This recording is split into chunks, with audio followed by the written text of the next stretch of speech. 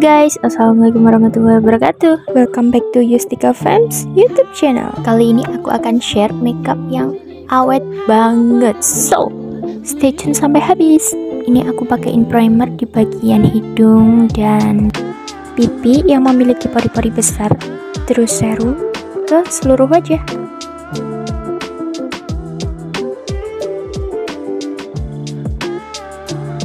Terus ini aku pakaiin foundation aku taruh di hidung dan pipi juga. Jidat dan dagu.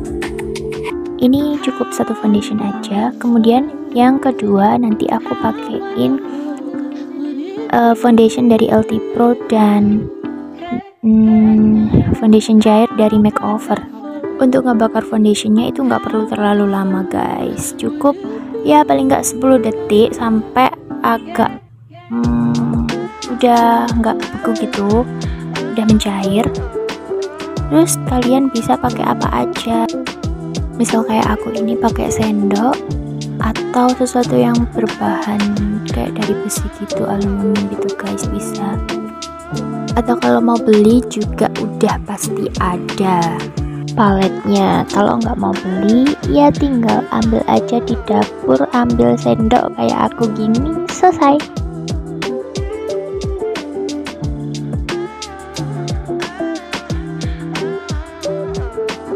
lanjut ini aku kasih concealer di bawah mata kemudian di hidung tulang hidung terus di dahi dagu dan di atas bibir.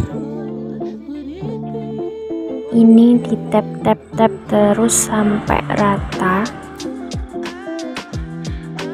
Lalu ini proses buat alis seperti biasa alisnya ditidurkan dulu lalu disisir-sisir-sisir dan ditekan-tekan. Lalu aku bikin bingkai alisnya dan aku isi pakai eyebrow cream.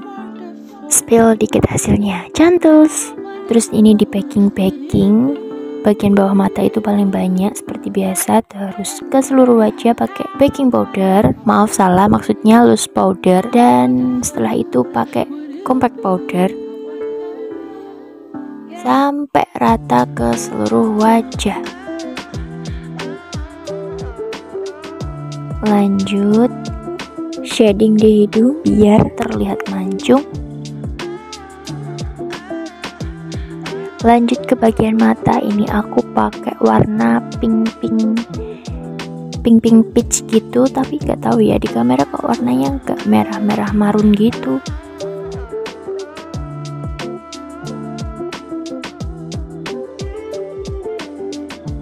terus ini aku pakaiin eyeshadow cair dari Pink Flash. Cepet kering juga ini. Terus ini aku pakaiin eyeliner ini juga recommended banget. Udah banyak dipakai. Para makeup artis ini cepet banget kering. Dan ini pakai A pencil di bawah mata. Dan aku kasih bulu mata setelah itu Sambil menunggu lem bulu matanya kering, aku pakaiin blush on. Ini aku pakainya dari depan dulu ke belakang. Tapi kalau kontur itu dari depan eh dari belakang ke depan. Jadi kebalikannya begitu.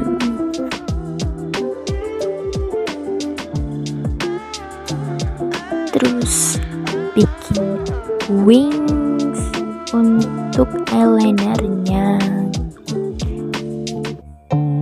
jadi bikinnya tuh ditarik dari pangkal uh, ujung mata ke belakang terus ditarik ke dalam.